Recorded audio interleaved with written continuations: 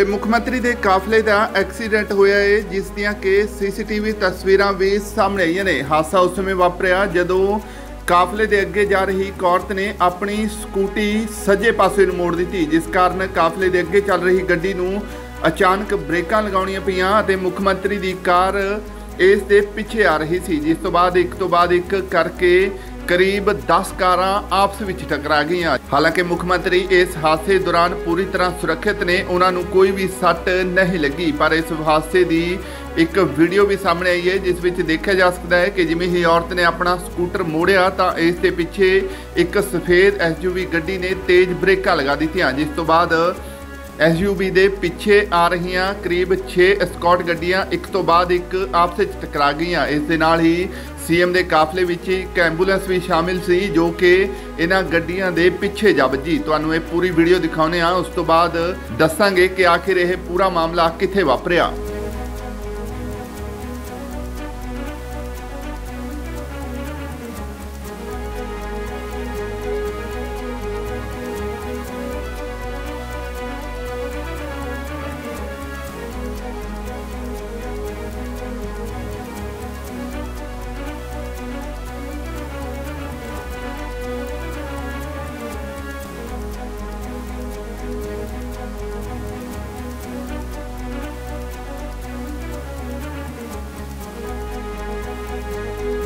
ਤਾਂ ਕੇਰਲ ਦੇ ਮੁੱਖ ਮੰਤਰੀ ਪਿਨਾਰਾਈ ਵਿਜਯਨ ਦੇ ਕਾਫਲੇ 'ਚ ਸ਼ਾਮਿਲ ਕਈ ਵਾਹਨ ਆਪਸ ਵਿੱਚ ਟਕਰਾਏ ਨੇ। ਇਹ ਹਾਦਸਾ ਬੀਤੀ ਸ਼ਾਮ ਵਾਪਰਿਆ। ਹੈ। ਇਹ ਹਾਦਸਾ ਤ੍ਰਿਵੁਨੰਤਪੁਰਮ ਦੇ ਵਾਮਨਪੁਰਮ 'ਚ ਵਾਪਰਿਆ। ਜਦੋਂ ਮੁੱਖ ਮੰਤਰੀ ਵਿਜਯਨ ਕੋਟਾਯਮ ਦੀ ਯਾਤਰਾ ਤੋਂ ਵਾਪਸ ਆ ਰਹੇ ਸੀ, ਇਸ ਦੌਰਾਨ ਮੁੱਖ ਮੰਤਰੀ ਦੇ ਕਾਫਲੇ ਦੀਆਂ ਗੱਡੀਆਂ ਦੀ ਟੱਕਰ ਕਾਰਨ ਸੜਕ ਤੇ ਕੁਝ ਸਮੇਂ ਲਈ ਜਾਮ ਵੀ ਲੱਗ ਗਿਆ, ਜਿਸ ਕਾਰਨ ਹੋਰ ਵਾਹਨਾਂ ਦੀ ਆਵਾਜਾਈ ਵੀ ਪ੍ਰਭਾਵਿਤ ਹੋਈ।